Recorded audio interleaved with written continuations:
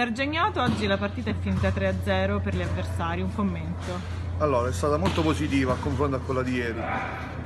Sono stati bravi gli avversari e hanno avuto un po' di fortuna più di noi e purtroppo è finita 3-0.